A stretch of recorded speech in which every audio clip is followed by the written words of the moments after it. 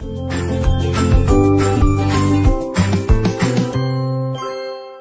kids! Are you all excited to go to RizQ Islamic School next year? I'm so excited to see you guys. Wow. But have you all done preparation for next year? You know what to prepare for next year? Do you? Okay, let me tell you kids. You need this item.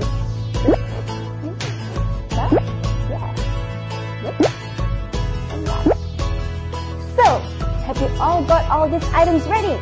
If you do, you are ready to go to school!